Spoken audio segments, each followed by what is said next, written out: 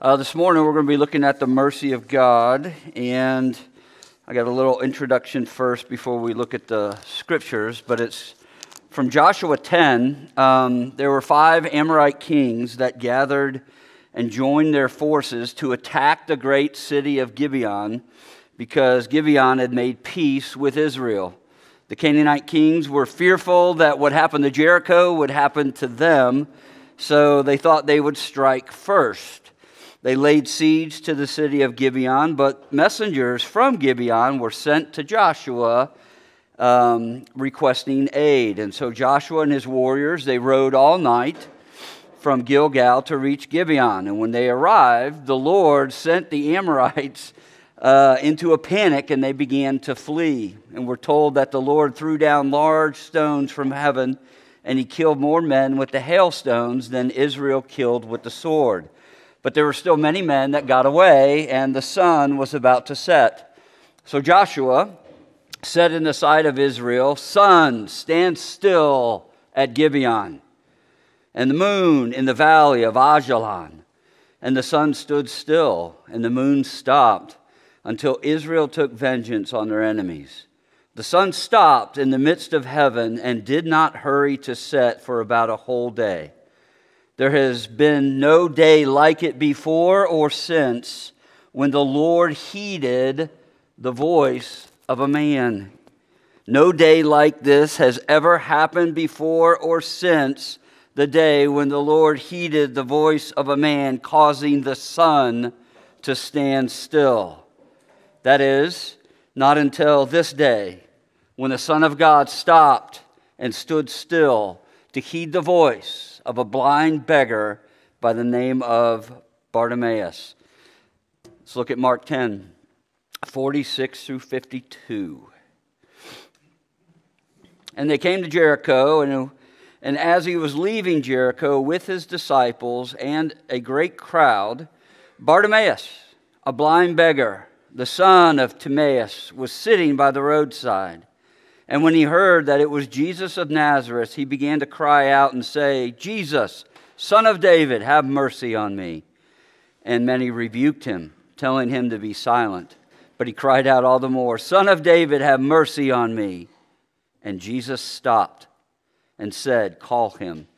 And they called the blind man, saying to him, Take heart, get up, he's calling you. And throwing off his cloak, he sprang up and came to Jesus. And Jesus said to him, What do you want me to do for you? And the blind man said to him, Rabbi, let me recover my sight. And Jesus said to him, Go your way. Your faith has made you well.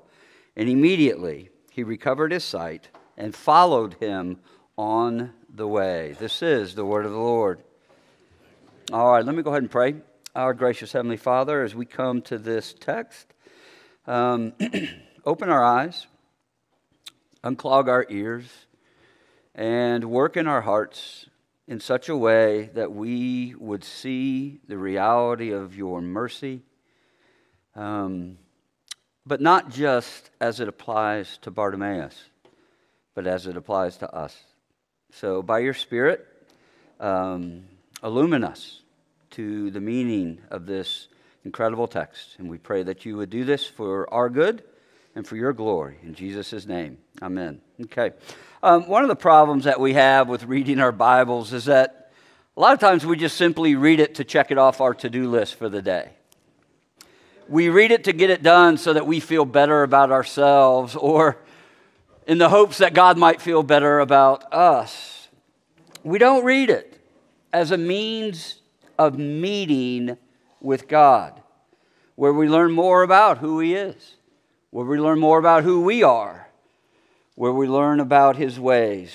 Now, most of you, because most I see a lot of gray hairs in here, but for some of you younger ones, you may not remember something that was called snail mail, right?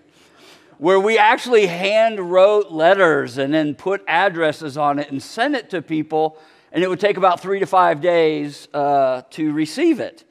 Now, Imagine if you were to receive a letter through snail mail from somebody that you cared deeply about. Would you just quickly at a glance Read it and then dismiss it and go on with your day? Or would you dissect every word? Would you look at every sentence?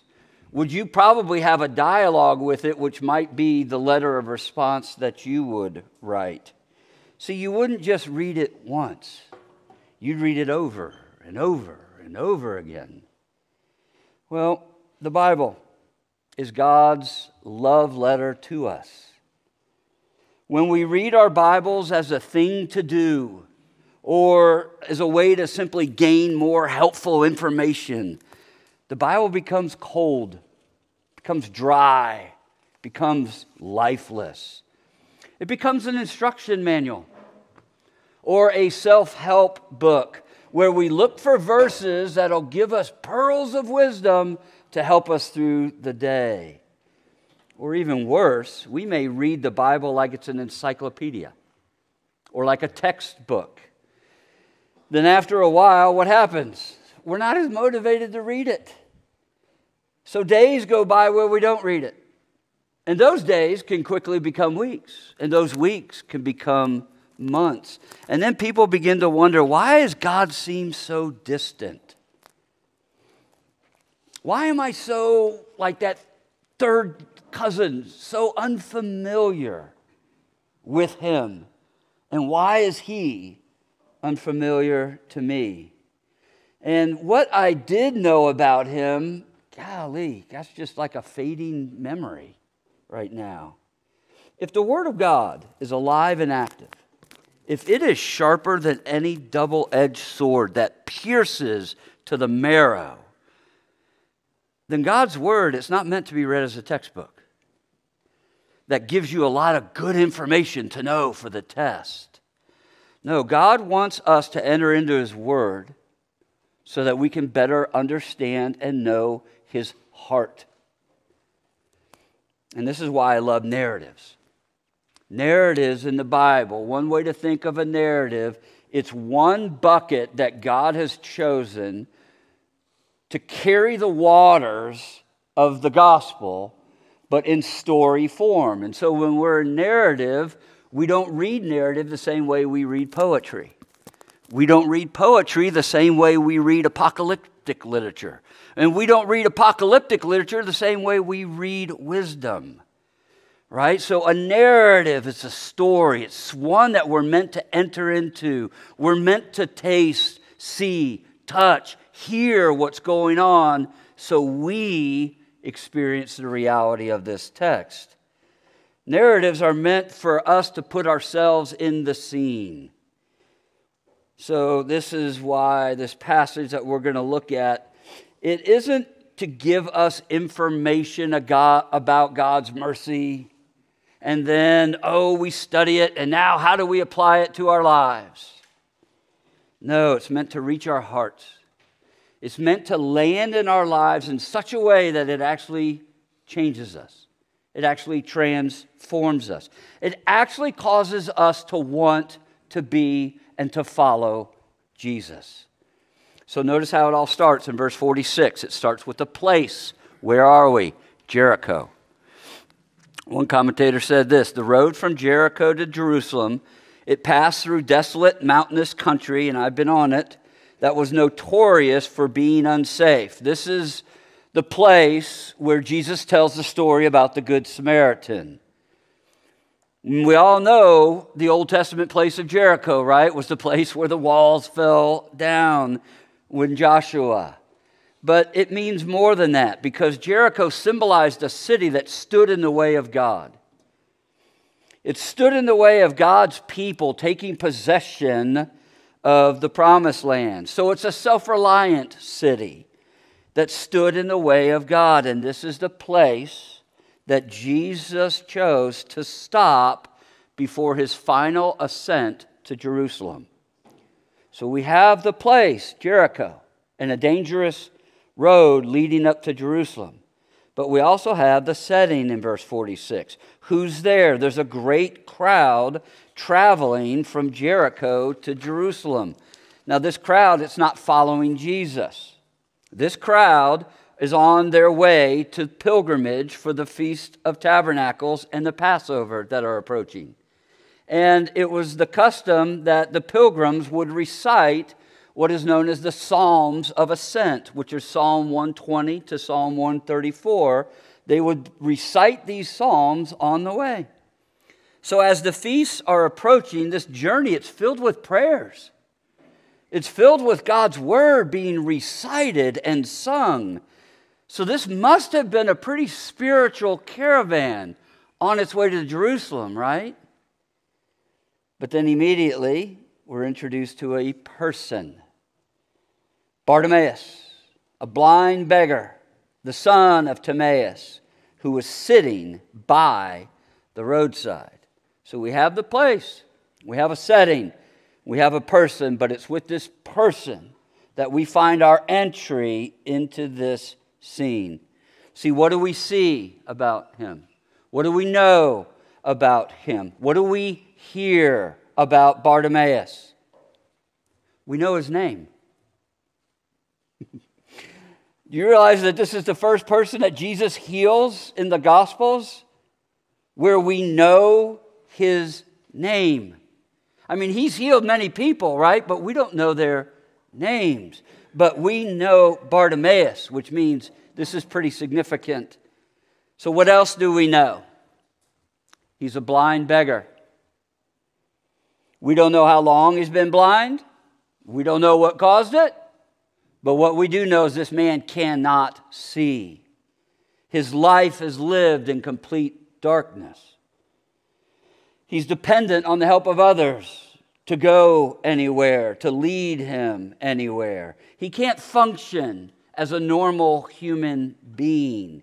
He can't hold a job, which means he has no source of income, means he can't provide for a family if he even has one. He has to beg for money. So he's an outcast. He's a social problem. He's someone who people, if we're honest, shy away to avoid when they see him.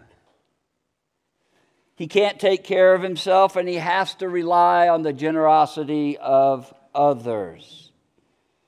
In other words, Bartimaeus is a man who has no dignity in the eyes of others. And notice where he is. Look at the text closely. Notice where he is. He's by the roadside, he's not on it, he's by it. He's pushed off to the side in a ditch. So he's not in the game of life. He's sitting on the sidelines while normal people walk by, living out their normal lives all these spiritual people on pilgrimage to Jerusalem for the feasts are passing him by. Now, we don't know if some stop to give him alms or not. But what we do know is that the majority are ignoring him as they pass him by. And then we learn something else about him that Mark wants us to know. He's the son of Timaeus. Blind Bartimaeus is somebody's son, he's somebody's child. He's a human being with the hopes and dreams that have been dashed. In other words, blind Bartimaeus is a person, he's not a problem. He's the least of the least. He's cast aside by society.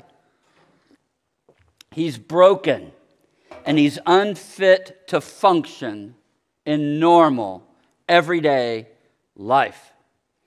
And then in verse 47, Mark wants us to know the most important thing about him. He is so broken, he is so desperate that he cries out for mercy.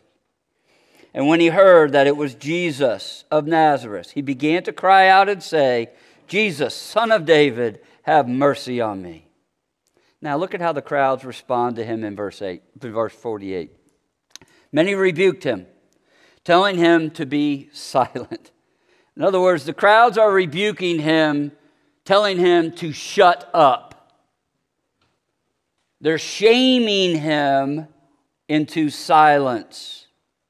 So, can you see or imagine how insignificant Bartimaeus feels.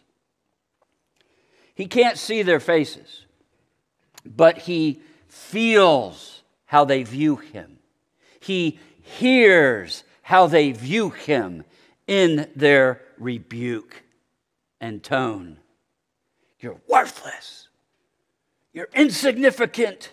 You're a nuisance, Bartimaeus. You're an inconvenience. Nobody wants to hear what you want to say, so shut your mouth and be silent.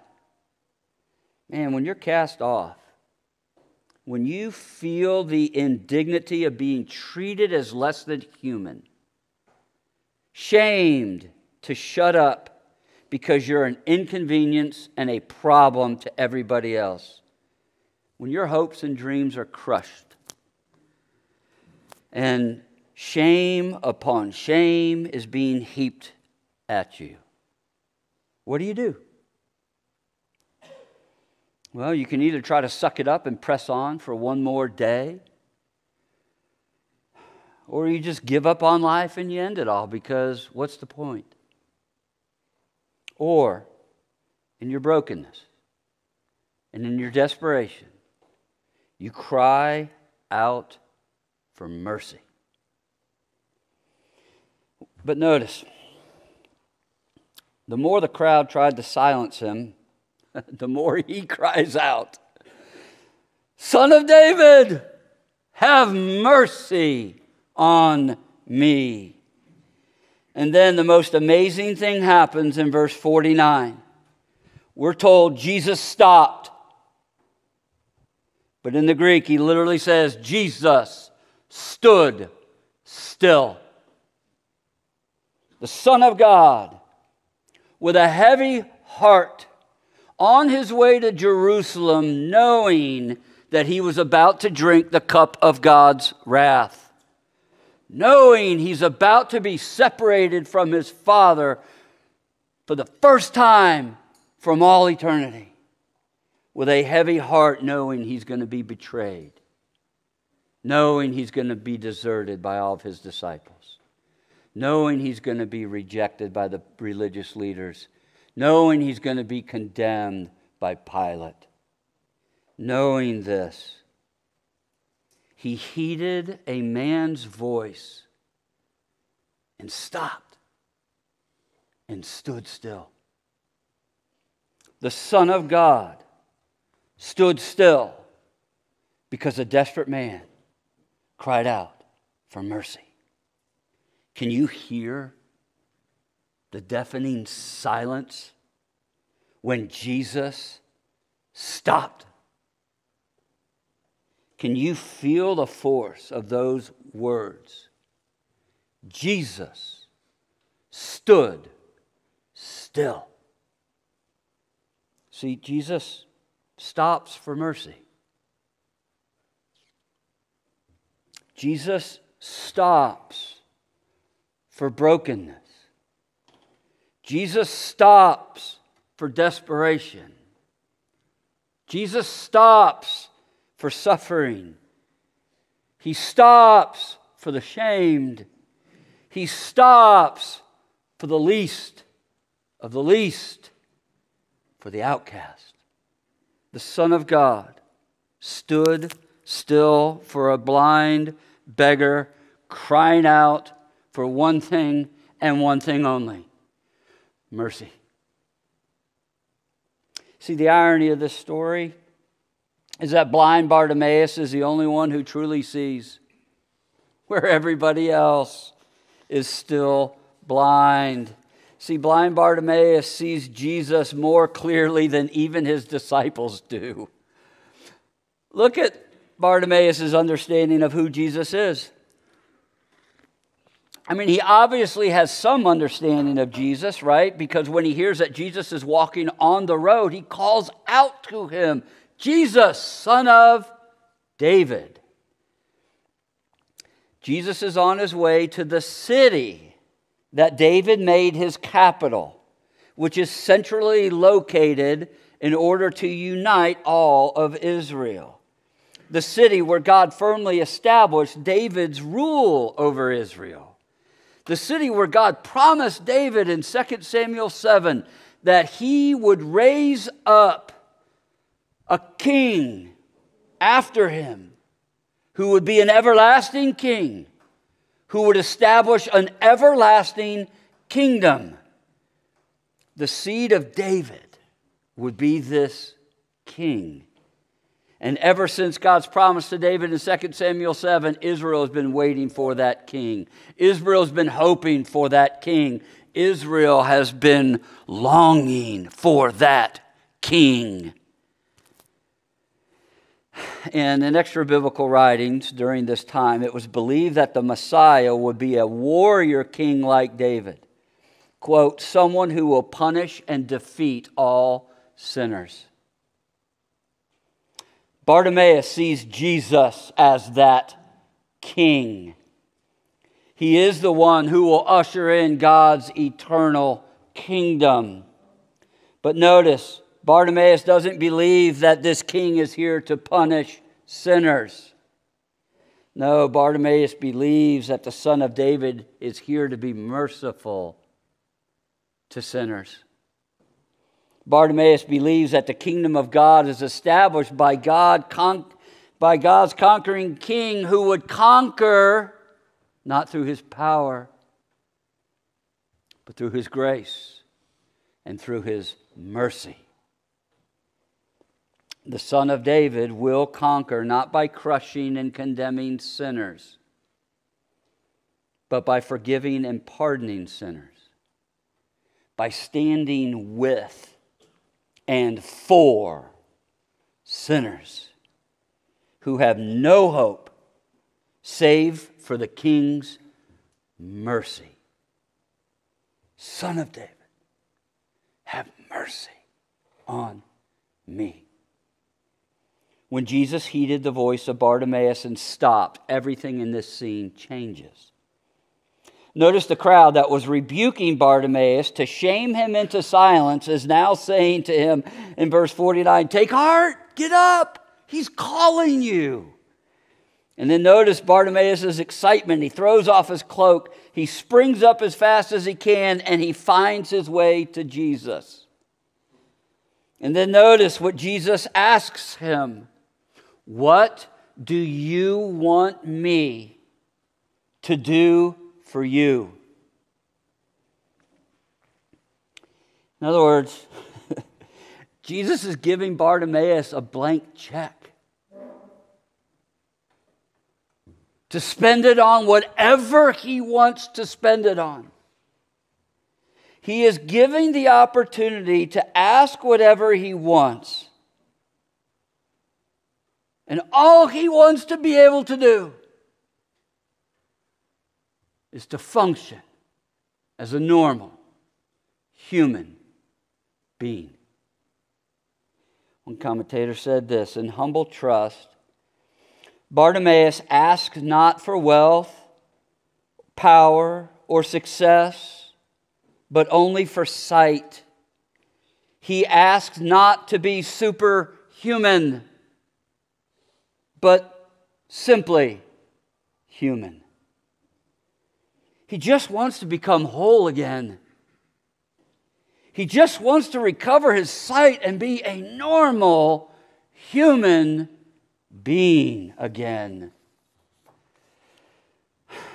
Now, notice Bartimaeus' humble request is not on the basis of his worthiness, and it's not on the basis of his strength. It's in the context of his desperation and weakness. You see, the crowd was right in their assessment. Bartimaeus can't contribute anything to Jesus. But they were wrong in thinking that his weakness and his brokenness disqualifies him from mercy. Jesus stopped for a man who saw his desperate need for God's mercy a man who trusted in Jesus to do for him what he cannot do for himself. In other words, Jesus' power is exerted in Bartimaeus' weakness. Now look at verse 52. And Jesus said to him, Go your way. Your faith has made you well. And immediately he recovered his sight and followed him on the way. The word for made well here, it means healed and saved. Your faith has saved you. Your faith has healed you. Your faith in me has made you whole again. Bartimaeus, in other words, has been feel, healed physically and spiritually. His sight is immediately restored, but so is his heart. He's no longer on the side of the road, he's now on the road. He's no longer on the sidelines of life, but he's on the road of following Jesus. In other words, he's back in the game of life. He's functioning as a normal human being because Jesus, in his mercy, has made him whole. So, what do we learn from this story? True faith it's trusting and receiving what Jesus does for us. It's not trusting in, in, anything you do. True faith, in other words, knows that you have nothing to offer. You have nothing to contribute to your salvation. True faith is knowing you're the least of the least.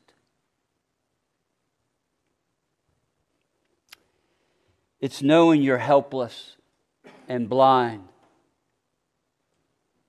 It's when you come to the end of yourself and all you can do is beg for mercy and trust in the one who's filled with mercy. Blind Bartimaeus sees his desperate need for God's mercy more clearly than anyone else. That's why we know his name. We know his name because he's a model of true faith. God has made the least of the least great. And now, what's Bartimaeus doing? He's following Jesus. On the way. On the way where? To the cross. But here it is. Don't miss this because this is where a lot of, again, teachers uh, mess it up because we immediately take the text and go to us. Say, now be like Bartimaeus. Go out and be like Bartimaeus. That's not the application of this text.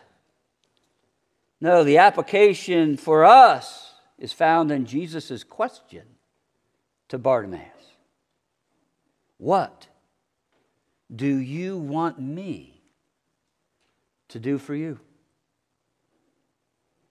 Do you want Jesus to grant you power and fame? You want wealth and success? You want greatness and influence? You want other people to acknowledge you, to think highly of you, to be attracted to you? You want Jesus to give you whatever you want because you think getting what you want is what will make you happy. Do you want Jesus, in other words, to be your genie in a bottle? Or do you want him to be your merciful Savior. Where He would be merciful and gracious towards you in your selfishness. Where He would forgive you for your sins. Where He would pardon you. where He would restore you and make you whole again. In other words, do you want Jesus to justify and embrace you, to accept you with His love? Do you want Jesus to live a perfect, sinless life for you? So he can give you his righteousness, which you don't have and so desperately need. Do you want Jesus to sacrificially serve you by going to the cross to pay the penalty for all of your sin? Do you want Jesus to free you from yourself? To free you to get back in the life and be a normal human being who loves and serves others rather than trying to be more than human. What do you want Jesus to do for you? Faith in Jesus and what he does for you is the only thing that can save you, that can restore you, that can make you whole.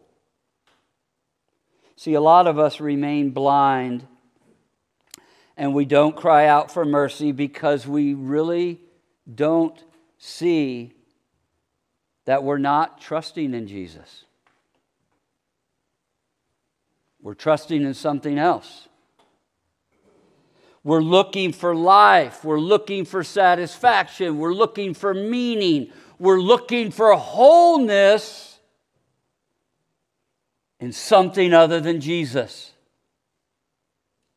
thinking that, man, if I get this, then I'll be happy. Then I'll be whole. Then I'll be successful in my job. Then I'll make a lot of money. Then I can rise to positions of power, and then other people are going to think highly of me. Bartimaeus is the model of faith. Why? Because he knew he deserved nothing. and he cried out to Jesus for the only thing he knows he needs. Jesus, son of David, be merciful to me.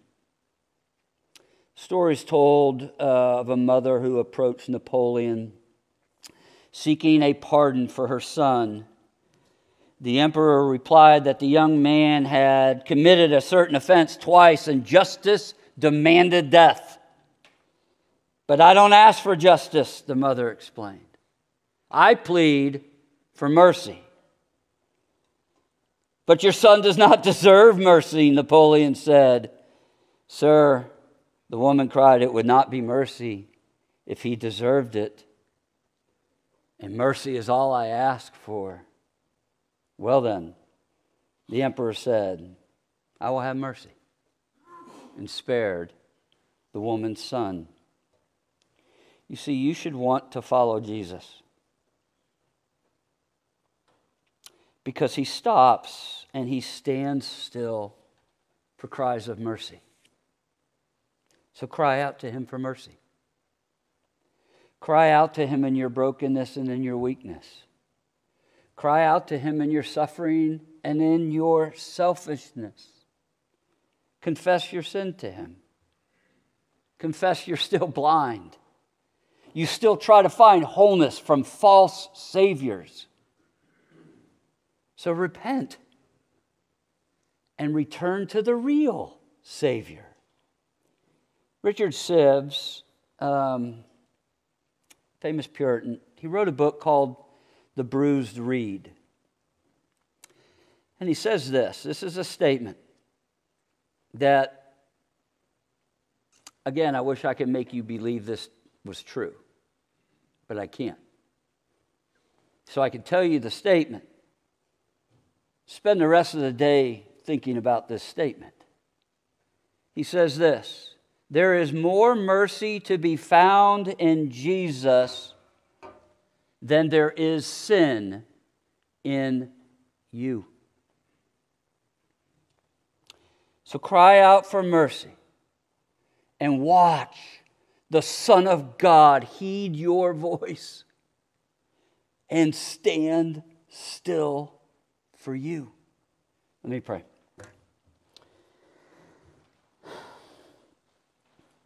Our gracious and merciful Heavenly Father. Again, it's not be like Bartimaeus. It's what do we want you to do for us?